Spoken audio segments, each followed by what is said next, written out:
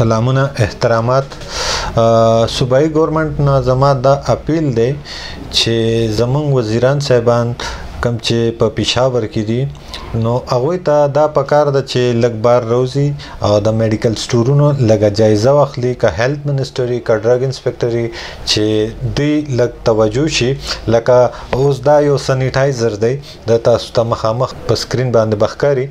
نو د دې 120 130 روپۍ ریټو د دې وبانه مخ کې نو نن په 350 روپۍ باندې دا یو سانیټایزر خرڅيږي دا ګلبز دی جی دا ګلبز په 250 روپۍ باندې مکمل ډبای به ملاوي دو